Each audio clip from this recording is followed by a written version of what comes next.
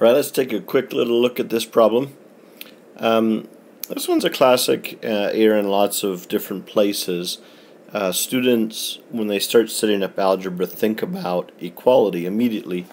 And so a lot of students uh, in a problem like this will just say, okay, 2x plus 3 equals 34. They're trying to create a statement of equality, but those things are not are not equal to each other.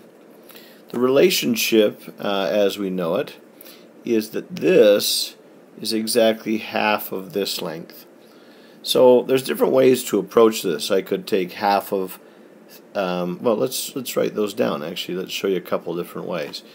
You could say 2x plus 3 has to equal 17 because that's half of 34. That's one way to do it and solve it.